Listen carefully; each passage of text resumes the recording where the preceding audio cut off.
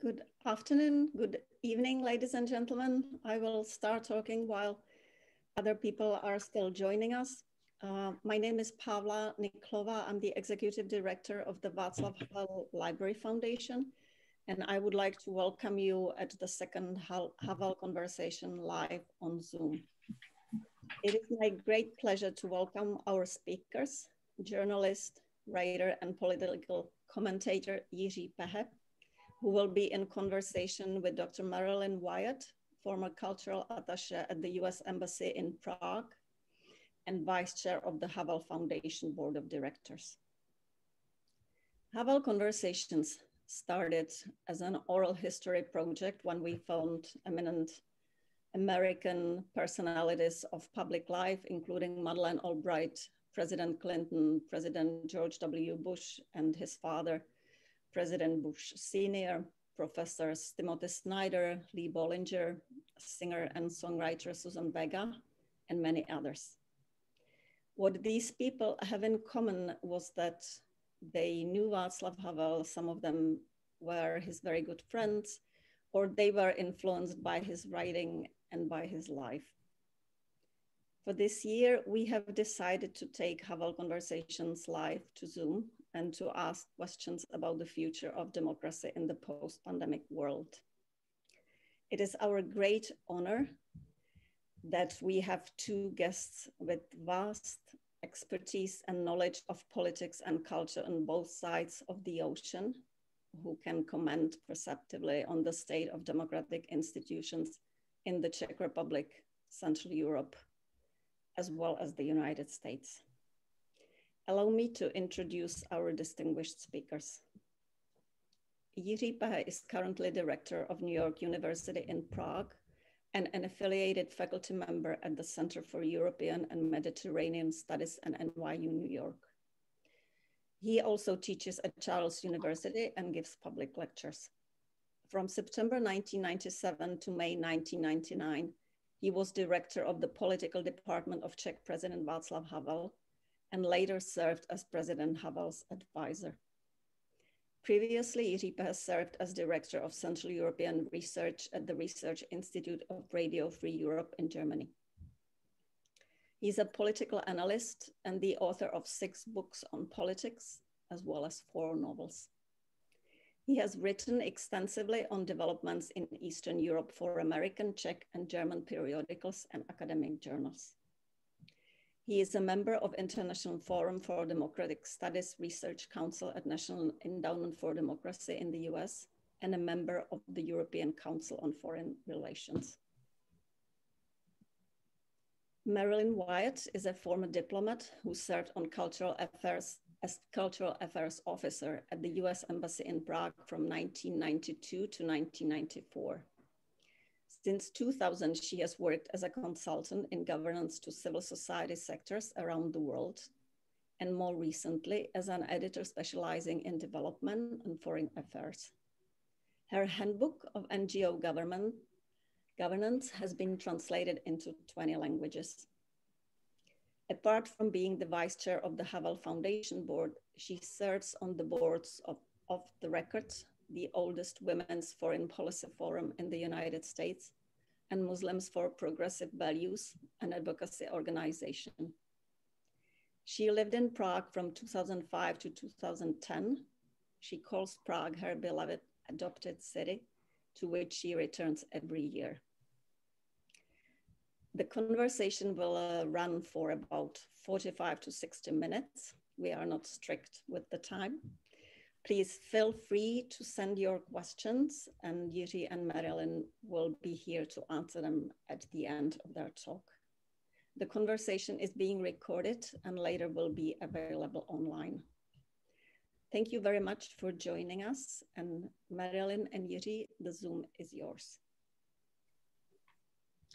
Thank you very much, Pavla, for that nice uh, introduction. Jiří, it's really a delight to have you join our Havel Conversation sponsored by the Václav Havel Library Foundation. Um, it's a good time to be rethinking about um, events in Central Europe and your region now that we have a new administration in the United States. And I hope during our conversation today, we'll be able to pull out some of the most um, important and interesting trends that are happening there. I, I really um, liked Pavlo reminiscing that you used to work for Radio Free Europe, Radio Liberty. I was actually in Prague when it moved from Munich to um, Prague in 1993, I think it was, thereabouts, not long after um, the Czech Republic was established.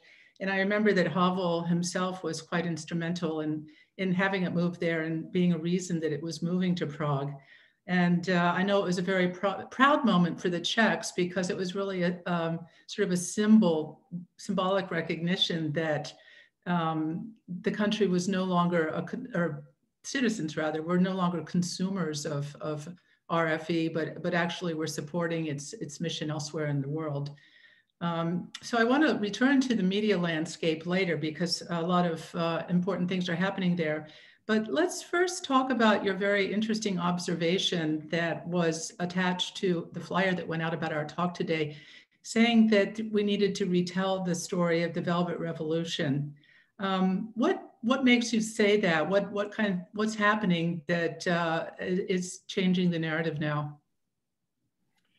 Well, thank you for the introduction. Thank you for um, your moderation and, and, participation in this. Um, um, I would uh, uh, answer your question uh, in um, two ways. I think that uh, the fact that we have to um, rethink the story of 1989 of the Velvet Revolution is partly based on uh, what we see today. For, for a long time, uh, we thought that uh, it was uh, indeed a, a, revolution, people rising against the communist regime, uh, a majority of people rising against the communist regime.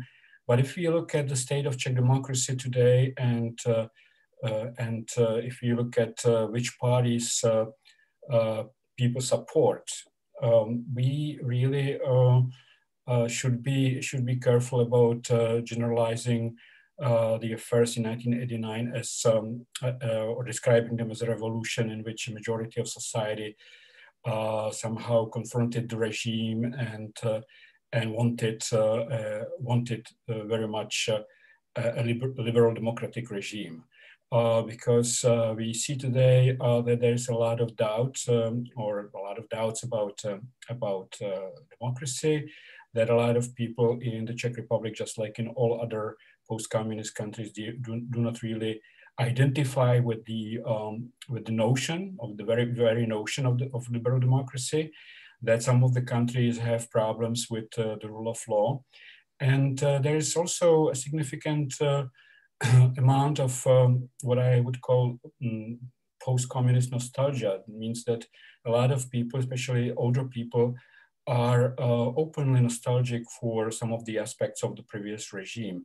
So it seems to me that uh, maybe in 1989, uh, uh, a, uh, a, minority of, of, of, Czech society was indeed uh, very much in favor of, of change and, and transforming the communist regime into a, a democratic regime and market economy and all of that but uh, that maybe a majority of society was just uh, sort of piggybacking, if we, if if if say that um, in this way, that, that a lot of people were um, hoping initially that yes, this change could bring uh, maybe an increase in, uh, in, in, living standards and would uh, make us catch up with the West very quickly. But uh, later, when they found out that this, this will be difficult and not so quick, they sort of um, um, turned, uh, many of them turned uh, uh, not an, exactly against this new regime, but became became very critical of it and and sometimes indifferent. So that's that's my first observation. The second observation is that um, that uh, in all revolutions or in, in, regime changes, there's always uh, a minority uh, um, elites, if you want to call them, uh, this is not a very popular term today, elites, but uh, elites that uh, that um, show to the rest of society that there is an alternative. And the Czech Republic was very fortunate, or Czechoslovakia at that point was very fortunate to have a small, very enlightened elite of, of dissidents uh, who, uh, with the support of, uh, of, of, students and, uh, and people who came from the gray zone, so to speak, who joined them, were able to, um, uh, to bring about this, uh, this change. But at the same time, we should not be blind to the fact that it took quite long, that changes had taken place in, in East Germany, uh, Hungary, Poland, even Bulgaria was ahead of us, and the Czech Republic was really one of the last ones. Um, and uh, that also, I think, has some, uh, uh you know, there's some significance in, in this uh, um, timeline. Um, I'm interested in your observation that uh, there may be a generational difference here. You know that in, in, during the end of the Cold War, that it was um, largely young people who were responsible for getting out on the streets and and you know venturing across the borders and and uh, really pushing that momentum. Whereas um, you know more recently, it's uh, it's the older generation. So one would assume maybe the same people who are now um, uh, if not actively pursuing, then at least supporting certain indications that democracy is backsliding in the region. Um, I, am thinking of a, of a, a, a, statement in Ivan Krastev and uh, Stephen Holmes' recent book about um, democracy, the light that failed. And, and they say that actually um, Central Europeans have a, a congenital fear of catching the wrong train and that maybe you know uh, there's this fear that democracy is the wrong train and they they need to get off and and and look for another another mode of transportation if you will.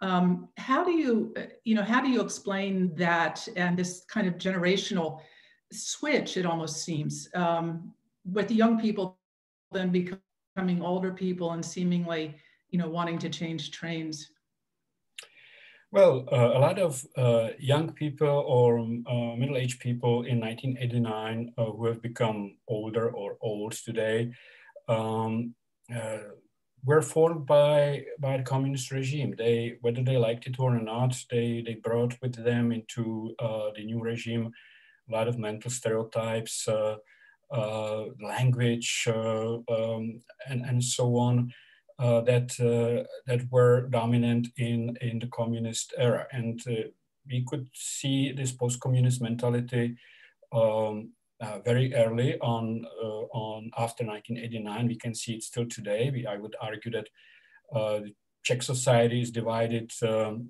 at this point roughly 50-50 between people who have uh, uh, become sort of nostalgic for the old regime, for the security it provided, for some of some of its cultural um, uh, features. And then you have young generation, people who already grew up in, uh, in, in a democratic society. And although this democratic society certainly had a lot of uh, uh, problems and failed in many ways, um, there were all kinds of hitches on the way, it, it, nevertheless contributed to uh, the fact this, this, institutional framework and uh, and the spirit of democracy that was uh, installed after 1989 sort of contributed to the fact that this, this new generation of people who were already born either before uh, 89, but just a few years before 89 or after 89 are much, much more um, uh, democratically inclined. I don't say that everyone, because we can see that there are a lot of young, uh, uh, disaffected, especially young men who vote for some of the extremist parties, but the majority of young people are in the Czech Republic today, I would argue, are worldly. Um, they have a, uh, they have a, a European outlook, um, and uh, they do understand that democracy is is in a way a difficult concept, but uh, uh, that uh, it is and has uh, and always will have problems, but it is it is a system that is um, that is worth keeping. So. Um, there is a generational split, and this also explains problems with liberal democracy in the region in in general. I think that what we see in this uh, in this region, and not only in the Czech Republic, is uh, is really uh, a generation generational shift and we can see that about um, uh, halves of those uh, post-communist societies, uh, whether it is the Czech Republic, Slovakia, Poland, Hungary, but also eastern part of Germany, are still um, sort of um, dominated by people, especially politicians who who uh, were uh, formed as, as persons uh, during the communist regime. And I think that contributes to some of the specific uh, features of, uh, uh, of specific problems with liberal democracy in this region, because of course there is the other part, and I can already hear um, an argument from one of our participants, uh, some of our participants, that uh, you know, don't we see this uh, these problems with liberal democracy everywhere in the West today? And I would say yes, we, we do, and uh, and certainly some of the problems that we have have been caused by um, by uh, problems that uh, people in the West faced as well. That means uh, globalization, uh, new challenges connected to globalization, um, uh, the the new media, and all of that, which we just which all of these things contributing to um, maybe a, a paradigm shift in in what we call liberal democracy, but in um, uh, the Central European region, it is also this other um, side, which I would I would argue is still pretty much uh, caused by um, by the by the legacy of uh, of uh, communism or legacy of its mentality. I, I think you're totally right. And one way in which you see that is I returning to the media um, landscape, what is happening in some of the countries with the media. For example, you know, Hungary being the most prominent among them with um, independent media sector pretty much collapsing. Um, just last week, the Hungarian government closed down the last independent um, uh, radio station. And in fact, Radio Free Europe has moved back into broadcasting in Hungarian to, to help fill that gap. Um, you saw something similar happening in Poland with uh, an effort to impose a, a tax on independent media uh, to, you know, constrict their resources and, and their operations, presumably. And uh, Radio Free Europe has also started resumed broadcasting in, in Romania and Bulgaria. Um, and then, of course, in Slovakia, there was Jan Kuciak's murder a few years ago. He was investigating corruption at the highest level of the government. And although his two killers um, have been convicted, the, the um, businessman who was behind it was just acquitted last week. So, all, you know, altogether, as, as a journalist, you know, what, how do you view this trend and, and where do you think it is heading? Well, it's a very unfortunate trend, although um, maybe um, uh, it's, it, it is a trend that could, uh, mm, could have been expected to some extent, because I think that uh, in uh, the first 10 years after the fall of communism, uh, there was a lot of confusion um, in the minds of, of, of people um, uh, about what the whole notion of liberal democracy is uh, liberalism was confused with neoliberalism, which was very prominent in the West at that point. That means with, with economic uh, liberalism, with the invisible hand of the market, which uh, has caused a lot of a lot of difficulties uh, in the region, uh, economic difficulties, and of course, then all of the problems with the transformation process, which were to some extent inevitable, but some of them could have been avoided.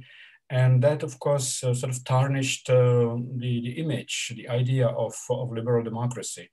And, um, and so I think that we, we do have, uh, we do have um, a lot of people who see uh, liberal democracy as a problem that, that contributed to their difficulties and, uh, and they don't understand fully this concept. They don't understand that that what is really important about uh, the system of liberal democracy is, is, liberal constitutionalism, the rule of law, um, sticking to the rules of, of, the game, so to speak.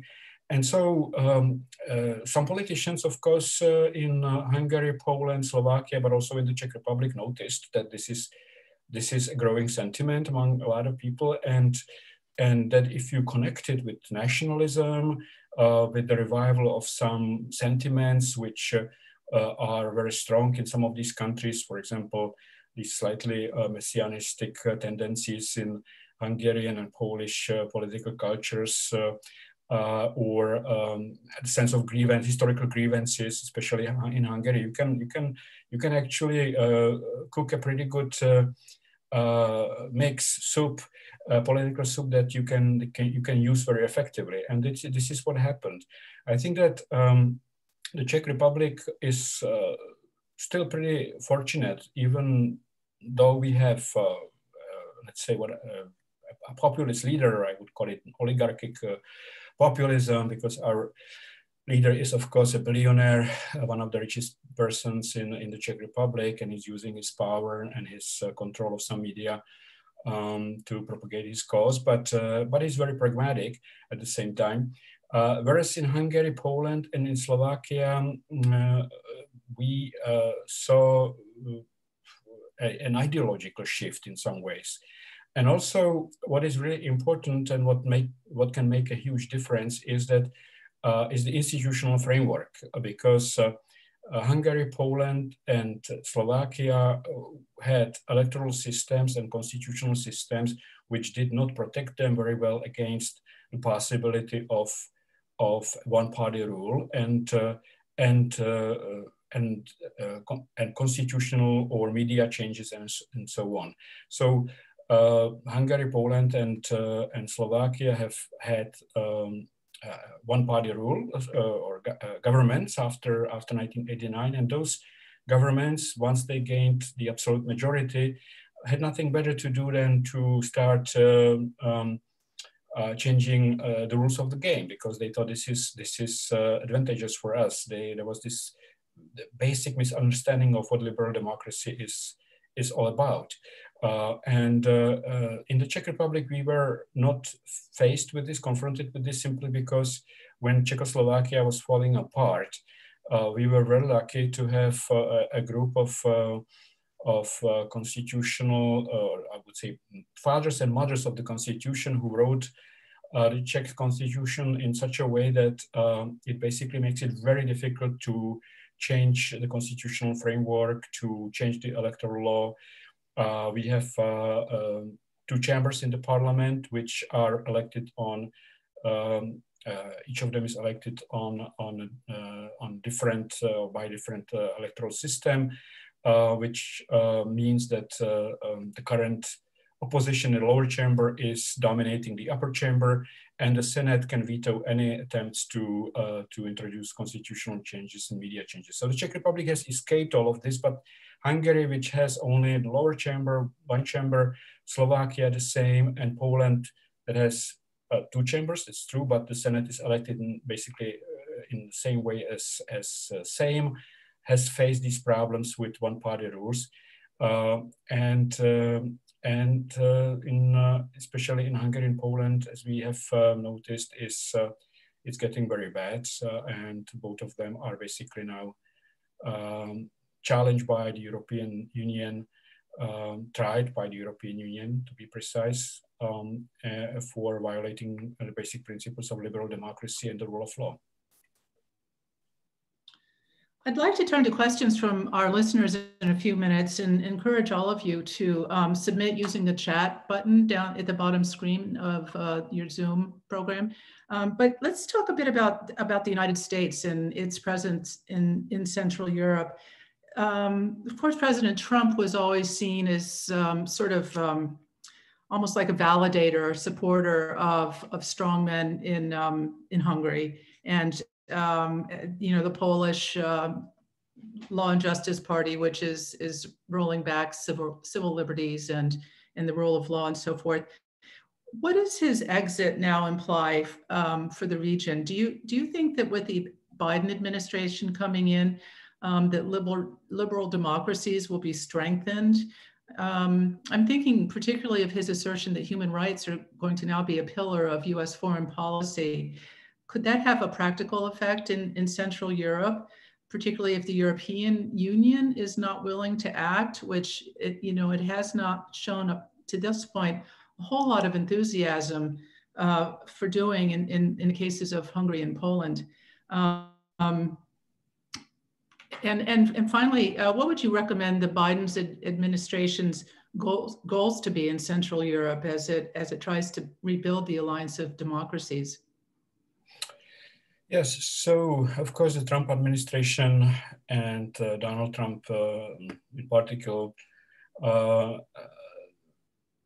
have been very um, uh, uh, encouraging news for for some of the authoritarian or would-be authoritarian leaders in in Central Europe. Uh, uh, Trump's advisor Steve Bannon was in Central Europe uh, talking to uh, some of the leading uh, political figures in the region, uh, assuring them that uh, that a something like a national populist in, alliance is on, on the horizon with with the help of money he has for that purpose and they all were uh, extremely pleased with uh, with this. And of course, it's uh, to some extent strengthened them politically, although um, majorities of, of societies in Central Europe were certainly anti-Trump. They were they, they never became um, uh, maybe with the exception of Poland where it was sort of 50-50 because of may,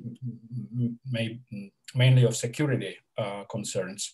Uh, it was it was never um, these societies were never really pro pro Trump, but um, it created a certain kind of atmosphere which was not very conducive to, um, or which which was very uh, uh, positive for for parties that are not uh, uh really friends of of, of democracy.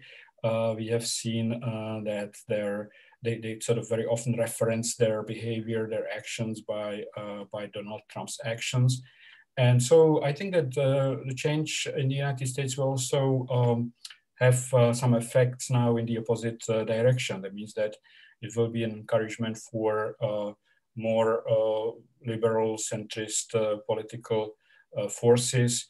Um, you can see that already some, some leaders in Central Europe are very um, uh, uncertain how to react to this change uh, because, uh, for example, in the Czech Republic, I'm speaking from Prague.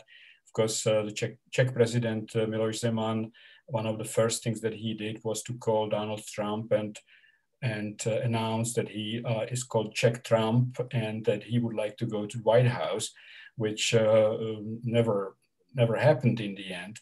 the, the prime minister Babiš was also very um, positive about the Trump administration, about Trump personally. He even on his webpage introduced uh, the red cap, the baseball cap with uh, um, America first, but it was uh, Czech Republic first.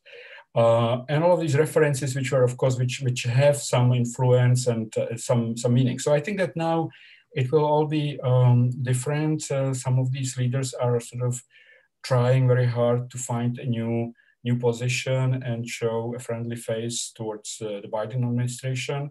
Uh, but certainly, um, I would argue that uh, um, uh, it will be easier for uh, for people who want to advocate human rights, who want to advocate uh, liberal democratic causes, and, and so on um, now because they certainly have um, um, at least will have some support in, in the United States.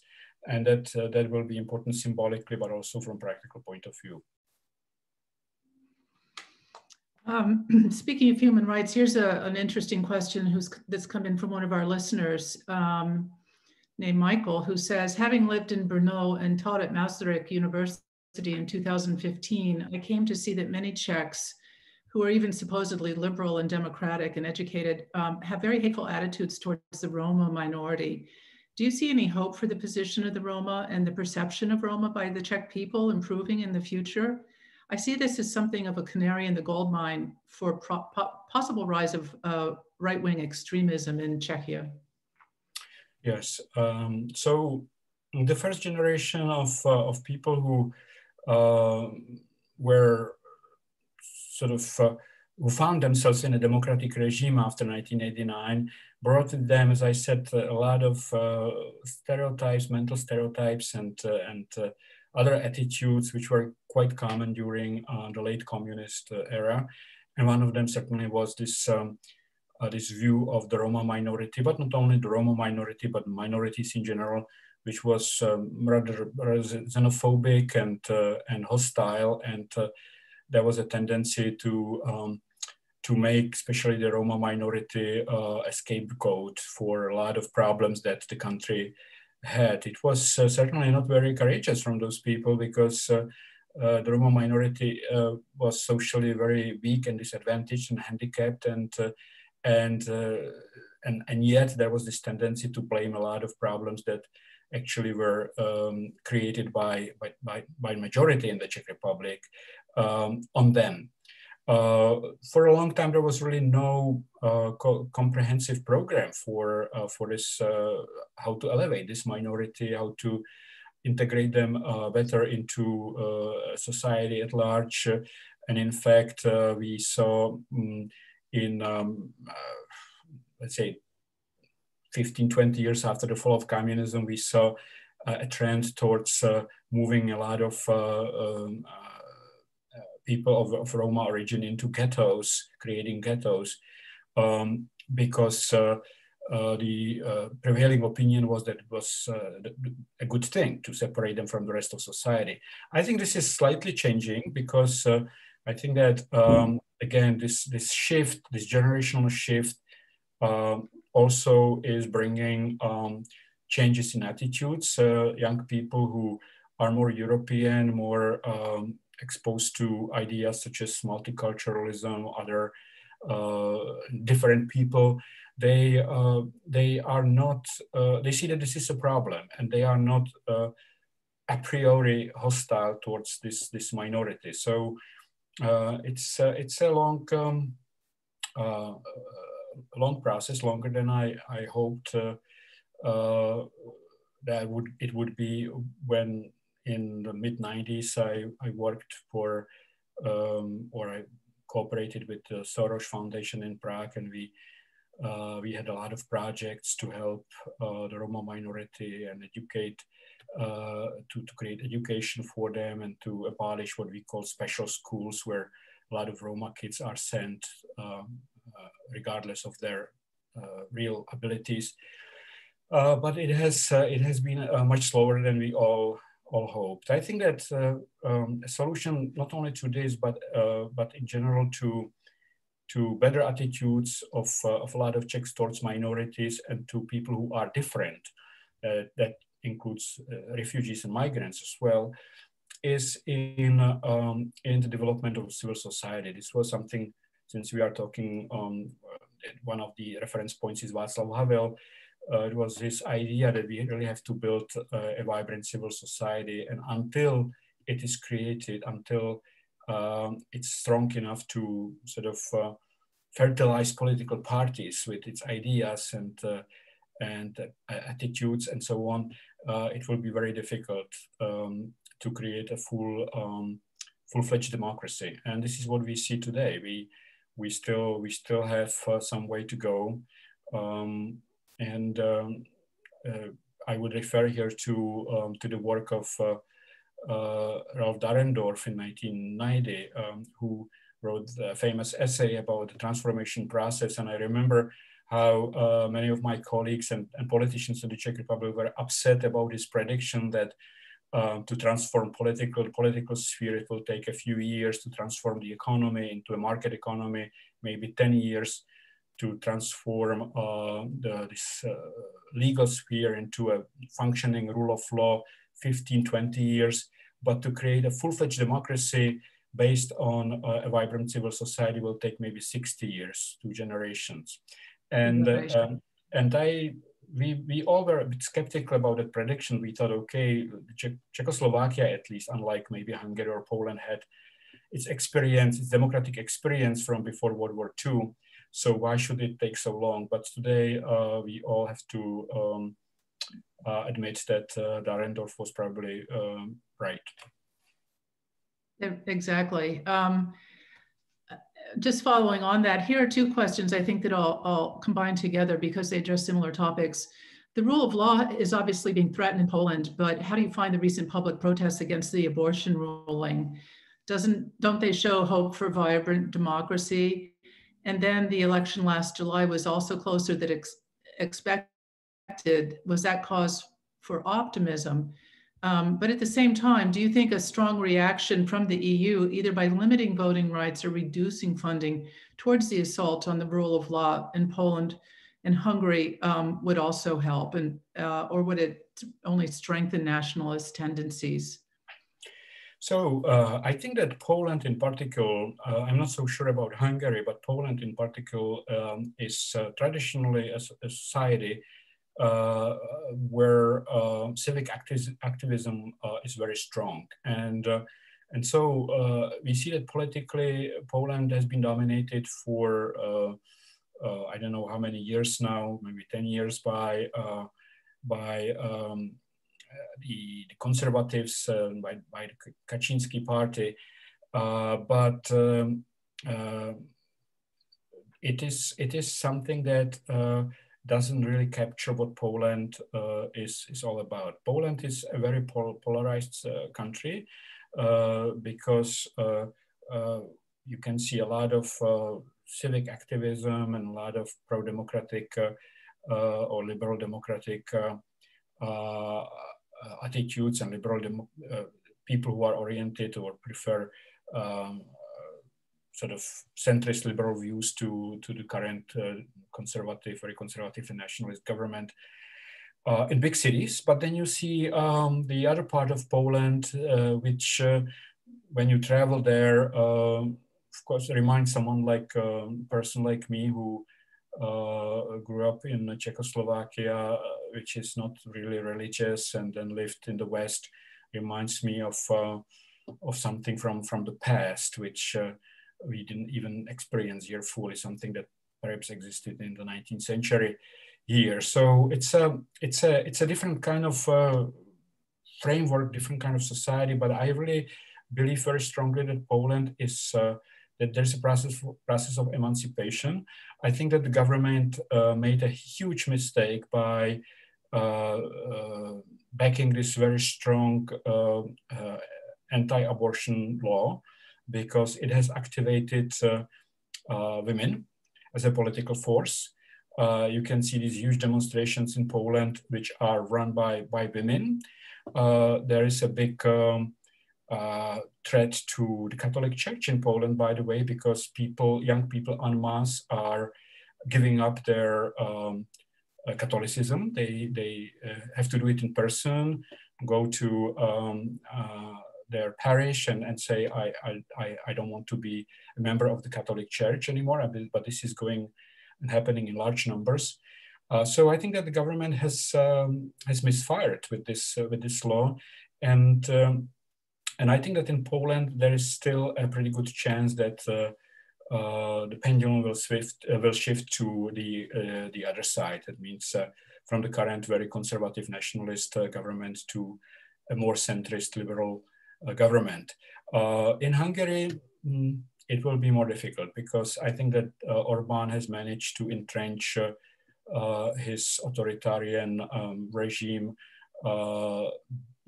very deeply and very well, and and it will be and there is no um, there is opposition in Hungary, but uh, not as strong as in Poland and uh, and not as well as well organized. You know, um, it's it seems to me that civil society was uh, really one of the most important achievements um, in Central and Eastern Europe since 1989. You know, uh, the case of Poland um, is is an important illustration, but also um, the Million Moments movement in the Czech Republic before the COVID crisis. We have a question here. Um, Usually we were very encouraged by the Freedom Festival organized by Jan Gregor and all of the young people. There, uh, 130,000 in Wenceslas Square in November 2019. Um, what influence do they have? And attached to that, do you see the COVID, um, the COVID crisis and resp- government's response to um, to that? Um, in some cases almost seeming to cut back on civil liberties as um, eating into those very successful social movements that were getting underway before the pandemic hit? Yeah, so I think that uh, the government was very lucky, uh, very fortunate uh, in a paradoxical way that uh, the COVID um, epidemic uh, came because just before it came, there were these huge demonstrations organized by the Million Moments for Democracy and by other young people, the Fest Freedom Festival and other groups. Um, young people have learned how to use social media, how to organize themselves very effectively. They were able to call really huge demonstrations, but it was not just those public uh, demonstrations, but also what was going on uh, on the net, so to speak, where people would exchange views, petitions, and, and all of that. So uh, I think that uh, this was this was a significant change. Um, you know, Czech civil society in in the last 30 years uh, has gone through, I would argue, three stages. At first, there was uh, it was very lame, um, very unsure of what to do, how to organize itself.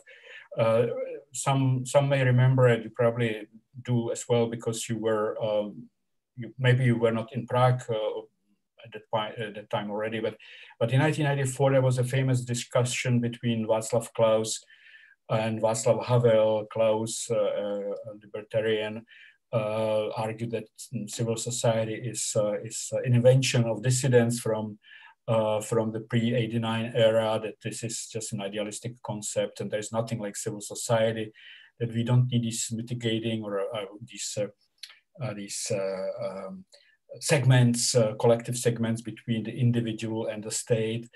Um, and Havel of course countered with his vision of civil society and it took several years because of this very hostile attitude of Václav Klaus towards civil society to actually pass a law on on uh, civic foundations, civic uh, associations, and so on. And then it sort of took off. But the first 10 years were very, um, civil society was really certainly not very strong. It was easily uh, defeated. Uh, I, uh, I was um, personally involved with a movement called uh, Impulse 99. I was one of the first three speakers. And I remember how, how politicians really didn't understand what civil society was. They saw us, they saw us immediately as competitors who want to take over political power. They didn't want to accept the argument that we are there to uh, to help. Uh, that, that, a lot of a lot of uh, top Czech intellectuals who joined would have something to something positive to offer and and um, and, and, so on. So that was the first phase. Then um, the second one was um, uh, anti-corruption movements, which were already started uh, after 2000, 2005 uh, by, uh, by young people who learned how to work with modern technologies and they would, for example, monitor budgets of municipalities and various transactions and so on. And they will say this politician or this group is corrupt. And but it was heavily focused on corruption because it was a big problem. And then uh, Mr. Babiš came to power in 2013, and uh, and uh, a lot of people viewed him and still view him as, as a threat to democracy to some extent. And so these uh, huge uh, pro-democracy movements were born. And uh, if you look at the uh, age composition, these are mainly young people. These are people who, um, who are um, 30, 35, but young, mostly younger. I remember uh, when I went to one of the demonstrations at uh, Letna, where there were 350,000 people, and I looked around. By I was, uh, by I was by 30 years the, the oldest person there. So it's uh, uh it's it's really something new and very very effective, efficient and effective. Of course, the COVID-19 um, epidemic um, caused a lot of problems for this movement because uh, a significant feature of, of this movement was public demonstrations, and it, it's not possible now. But I think that they have succeeded to some extent already in changing the Czech political landscape because uh, uh, before they, they appeared, it was uh, quite often argued that uh, given the economic uh, growth of the Czech Republic and the fact that the Babiš government was very successful economically, uh, that um, it would be probably impossible to, to change uh, political political uh, situation in the Czech Republic. And, uh, and uh, so we had Babiš's movement, ANO, and then we had um, his allies, but then we had, had the opposition, which was, which was very um, scattered and disunited. And the Million Moments for Democracy said, okay, uh, we want the opposition to actually unite, to create a, a united force against Babiš. And if you don't do it, we will turn against you. And, and they did. And so now we have, for the first time in, in many years or several years, we have uh, opinion polls showing that uh, uh, the two new coalitions that were formed under pressure from Million Moments for Democracy uh, by opposition parties, that they are actually getting ahead of Babiš in opinion polls. So um, they already had a significant impact, which cannot be uh, underestimated. Um, here's a here's a good one. Um, what were you, what was your reaction to the events of January 6th in Washington D.C.? Uh, do Czechs now think of American democracy differently? And um, I'd also like, if I could um, add uh, a sort of a second part to that question. Um, speaking of young people's use of social media and the growth of social media in general, um, and, and the role that social media had in the events of January 6th in Washington, D.C., um, do you see it taking on that sort of malign uh, or facilitating, you know, malign um, efforts the way in the Czech Republic and elsewhere in the region, the way it has in the United States? So, two part question. Yeah, so of course, um, what happened on the 6th of January uh, was watched by most of us in horror, quite frankly, because uh, very few people would expect that uh, that even after four years of uh, of uh, uh, Trump government, which was certainly um, not uh, uh, a, prime example of of um, of democratic attitudes and respect for um, a lot of principles that that had sort of uh, characterized American democracy in the past, uh, very few people thought that this, this would be possible, and it, it did happen. So of course it was um, it was a shock, and it was also for a lot of people um, uh, a certain disappointment because how could this happen in in the uh, in in the country which is the leader of the Western world um, has one of the oldest democracies in the world. So people, especially people who who have not uh, followed uh, uh, American developments or American society, American politics, uh, in detail were very confused and I, I was getting because I often comment comment here on American uh, politics uh, I, I was getting a lot of a lot of emails private emails from people who were really confused. They didn't know how to interpret this. They, they didn't know what to do with this uh, uh, with these events. So uh, so yes I think that hopefully hopefully things will be better, although um, it will it will take uh, probably uh, some time. Uh, but uh, in uh, in general, I think that um, um, yes, um, social media is uh, is part of the problem. It's it's becoming increasingly clear.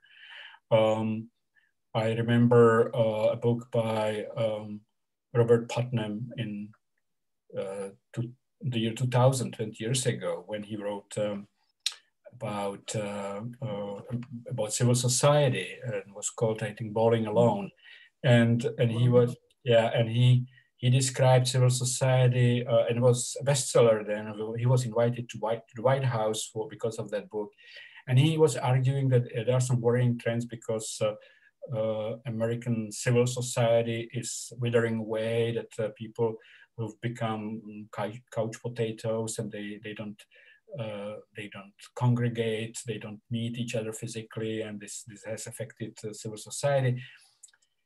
Little did he know that there was already this other trend that you just uh, touched on, uh, that is that in a few years there will be this other civil society which will exist virtually in, in cyberspace, and that it will not be uh, entirely uh, positive because uh, that that kind of civil society, of course, has brought created huge possibilities for very quick mobilization and, and a lot of positive things. And we, we saw it during the Arab Spring, for example, when um, people were mobilized through uh, social media and, uh, and, and so on. But uh, we also saw the other side of these, uh, these these uh, um, uh, big um, social um, upheavals disappeared after uh, after a few weeks. They, they, it was like a bubble which would burst and it would be gone and nothing was left but the old structures again. And so now uh, we see the, uh, the even more worrying side of this, and that is that um, a lot of people don't, uh, that not only good people, um, civil people, and that's the root of the war, that's the, the root of the work in civil society too, uh, civil society is not only civic but also civil, and and and now we have uh, we have this situation when it's not so civil. That there are a lot of people who are using these new technologies to uh, uh to organize in the name of very uncivil courses, and uh, I think that. Um, it'll take some time before the immune systems of, of Western democracy sort of kick in, and we will be able to get this uh, uh, somehow under control. And part of that is, of course, education and, and media literacy, uh, which is beginning to take off in many Western countries. But, but yes, it is, um, it is a big problem. And, uh, and I think that one, one part of this problem, if I still may add a few sentences on this topic, is that um, uh, these social media have this very strange uh, um, uh, ability to make people feel empowered just because you um, can uh, be heard uh, theoretically you can be heard. You you can write say whatever you want on social media. No one can prevent you from that but there is this other side which is uh, maybe even more frustrating than um, the inability of many of these people to to get to be heard before the rise of social media uh, because the only way to be heard was to be in the official um, dailies or radio stations or TV stations um, at that time. And that is that uh, something that uh, Philip Roth very nicely, um, I think, formulated in his uh, in his uh, letter to um, Ivan Klima, Czech writer, when Philip Roth said, in in, Czech, in Czechoslovakia, um, nothing goes, but everything matters Whereas in the United States, everything goes, but nothing matters. And, uh, and I think that we were not really um, entirely uh, aware of the prof profundity of this, of this statement, because now we are in this situation, even in our uh, post-communist democracies where um, everything goes, but nothing matters. Uh, there are millions of people on social media who can write whatever they want but then they are very frustrated because their voices are not heard anyway, because you still have to have some social cultural capital to be recognized and heard. But the first impression is um, maybe, uh, maybe not, maybe I should be heard. And I, I get, I get, I'm saying this just last sentence on this. I get a lot of messages from people who write to me and say, you know, I said on, on Twitter or Facebook, this and this, on this and this day, as you know. And I, I, I have to reply, sorry, but I don't know you. I don't know you. But there's this, there's this assumption that if you are in social media, you are just a partner in this uh, in this discussion, which you are not. And you know, you wonder if that norm normality in which um, everything goes and nothing matters is is the normality that that Havel and, and other dissidents had in mind when they when they said they just wanted um, their countries to be normal countries um, when they were working so hard in the 70s and 80s. We have time for one more question, and, and I would like to bring it back to Havel. Um, and we have two very good, uh, actually, that, that I can um, combine.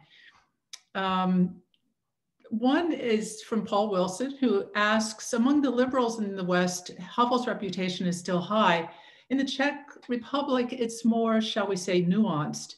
In many ways, he's become a divisive figure. What if Havel's legacy, do you think, has survived as an active factor in Czech politics today? And then, um, very closely related that, uh, Helena has asked, what would Havel think about current democracies in, in your opinion in Europe? So I will start with the uh, the last question, with the second question. I think that he would be very disappointed uh, uh, by what's going on now, uh, by the rise of, all these nationalist populist movements. He often spoke against it. He thought this this was this was wrong. He was. Um, mm, you know, he was an, uh, an advocate of, of, of a very idealistic concept. If you go back to Philip Roth, uh, which would sound like uh, mm, everything goes and everything matters.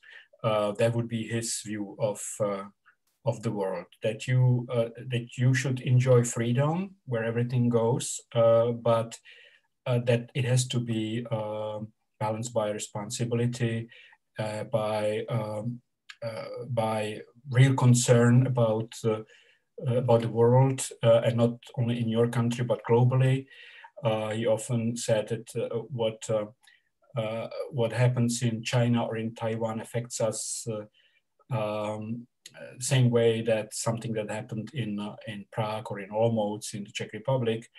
Um, so so that was his view, and and of course he would be very very very disappointed. Um, I think that, and the first part of your question was about, the first question was, now I forgot. Uh, it was about Havel's legacy in the Czech oh, Republic Havel's legacy, today. Yes, yes, sorry. Um, so, yes, so his legacy, of course, is, um, um, uh, is ambivalent, I'll put it this way, because uh, um, first he put um, during his presidency, but already before his presidency, he put uh, um, uh, he was uh, he set the bar very high for Czech society, and people liked it initially, uh, especially after '89, because they they thought this this is what we should aspire to, this is what we can become, and they also saw how uh, tremendously popular Havel, Havel was abroad and how highly estimated or valued he was by Western leaders.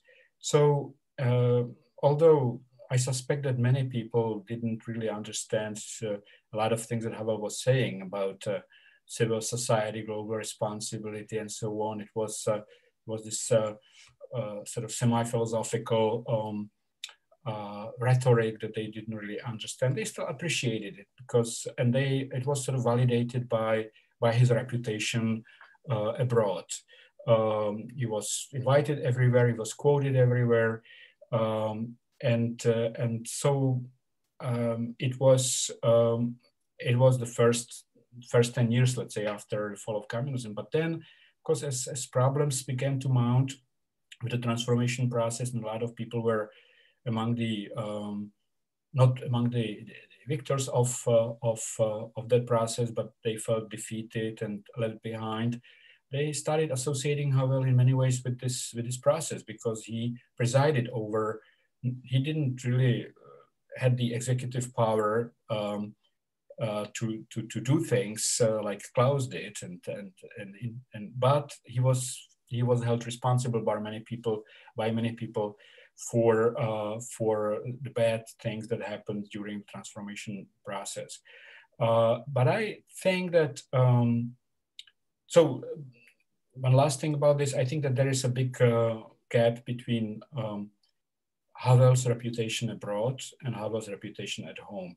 While abroad, abroad he was viewed as a really global leader, uh, someone who uh, came with new ideas and uh, and uh, and so on, and who brought uh, the Czech Republic and and helped this region in general to to become part of, um, of, of, NATO and the European Union. Uh, at home, he was uh, increasingly seen as, uh, as someone who um, uh, first is, is, is, sometimes saying things that, uh, that ordinary people uh, see as um, as incomprehensible or maybe even looking down at them. And, uh, and then, uh, of course, he was associated with these, uh, with these concrete political failures. So, um, so there, there are still these two sides of Havel, but I think that his legacy is, is changing because he died uh, 10 years ago and uh, and now uh, people are beginning to, especially in the current situation when we have really a, a, very um, um, almost pathological state of affairs here politically. Um, uh, pe people are very often, even people who maybe didn't like Havel so much five, six years ago, are beginning to return to him and say, look, this was the best president we had. This, and, and he was completely right when he warned us against this, against mafioso capitalism and things like that. So, uh, so that's changing. I, I, I, sense a certain change there in public attitudes towards Havel. And, uh, and of course, um, he will, uh, it, will, it will continue to change because uh, not only because he is now compared with presidents who, the presidents who came after him, there was recently a public opinion poll showing that people think overwhelmingly that Havel was by far the best president we had after 89. Klaus was far behind, and then Zeman, the current president, is viewed as, as the worst one. Uh, and so there's this there's this reference um, um, or this framework in which uh, in which he can be judged. But also, I think that a lot of ideas that people didn't understand when he was um, expressing them uh, have become more clear uh, because people have also learned about uh, are learning about how the democratic uh, society works, about how the market economy works, and so on. And they now are beginning. Some of them, at least, I sense it in in my discussions with uh, with people that they are now actually uh, sensing uh, that Havel was right about many things, and they say, "Wait a minute." I didn't understand when he was saying it in 1995 in his in this and this speech, or when he repeated it uh, there and there. But now, now I do understand what uh, what what he meant. So, um, so I think there's a change. There's a change which uh, which is, in my opinion, um, positive and and ongoing. That's that's very encouraging to hear, and I certainly hope that's the case among young people who probably may not even remember what Havel said. They may not have, you know, been alive or were still children. Um, and uh, for them to be rediscovering Havel would be terrific.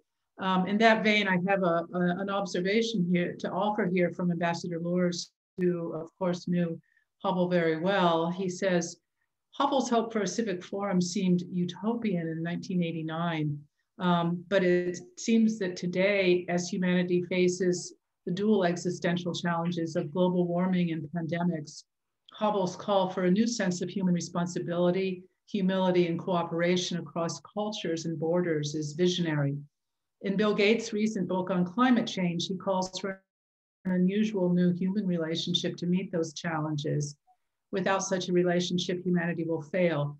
And he, Gates, he, uh, Gates un unconsciously echoes Havel's big vision Havel seems relevant today more as a philosopher of future human behavior than as a guide to current political behavior. Um, that's a very interesting observation. Would you agree? Absolutely. That's what I um, that's what I always felt um, uh, when I uh, worked with uh, with Havel. That uh, he was um, saying things that were um, in some ways timeless. You know, they, they were, uh, he was a visionary and, uh, and he was saying things that uh, many people uh, uh, at that time didn't really understand or didn't appreciate. Uh, but he wasn't saying them just because he wanted to say something shocking or something that looked very clever. He was really saying things because um, he, he had this visionary outlook and, and he, he was thinking very deeply about, about the world. And so um, uh, I often had to defend him against people who who would say, you know, this is this is just impossible. He's telling these fairy tales for for um, semi-intellectuals who uh, who love to uh, listen to him because he's saying things that that uh, uh Uh, do not make any sense for ordinary people. Uh, but uh, in fact, if you look at at the, the current state of affairs, he was actually um, he was he was a visionary, and, and even before '89, if you if you read his uh, essay, not so much uh, the power of powerless, which is very often quoted at Western universities, and there are entire courses about this one essay, but his politics and, uh, and conscience. Um, uh, that's that's an essay in which he uh, actually, uh, and I recommend everyone who is listening to this conversation to read it. it it's it's a visionary essay which uh, basically presumes many many things that we are facing today. Um, you know the uh, the, the, the, the, clash between politics and bureaucratic apparats, so to speak, as he called them, and and again this global uh, the need for global responsibility and, and so on.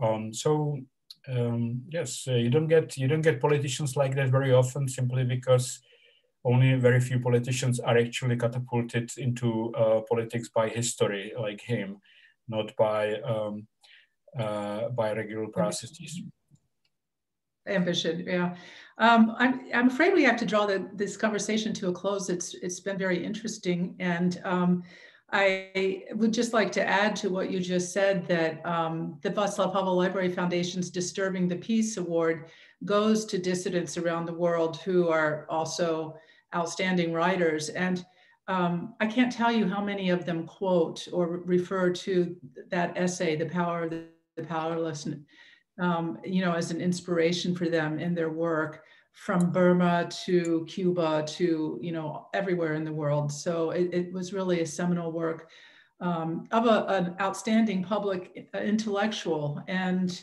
uh, I just have one last question I'd like to ask very quickly. It can even just be a you can leave it at yes or no if you don't want to elaborate. But um, as a public intellectual, you know Havel of course wrote plays in addition to um, these philosophical essays and and commentaries on on sort of existential questions.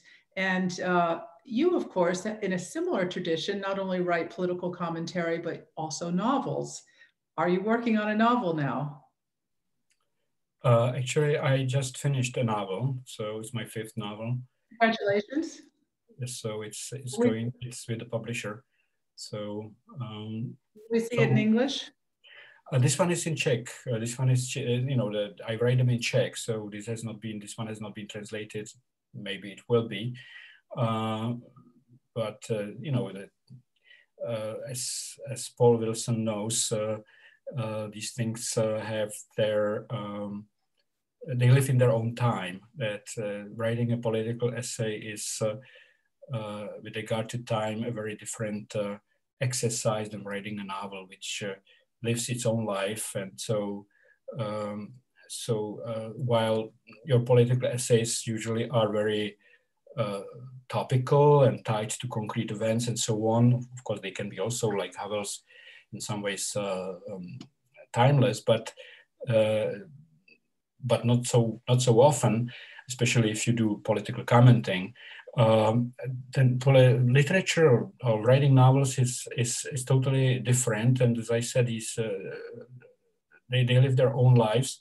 So, um, uh, so all of a sudden um, uh, you uh, get a letter from uh, someone in Romania who uh, who writes to you about your third novel and, and, and says that he wants to translate it because uh, he just read it and he's a translator and you completely uh, you already completely forgot about this novel you know be, i would have to probably read it uh, again just to just to uh, remember what exactly i uh, wrote. So so the point is that um, yes it is it is a different exercise and havel was very well aware of that. He um, he had these two sides and i could always see in him this tension you know between the need to to be a politician and to engage in political discourse and sometimes comment on political things which uh, were um, usually uh, very topical.